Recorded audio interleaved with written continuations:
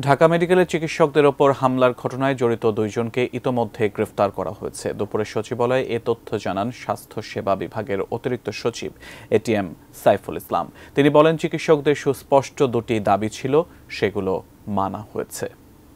ঘটনার সাথে জড়িত, অনাকাঙ্ক্ষিত ঘটনার সাথে জড়িত আক্রমণ করছে এরকম একজন কিন্তু অলরেডি অলরেডি কিন্তু আমরা শুনেছি যে দুইজন, একজনের নাম আমরা পেয়েছি, দুইজন কিন্তু অলরেডি অ্যারেস্ট হয়েছেন।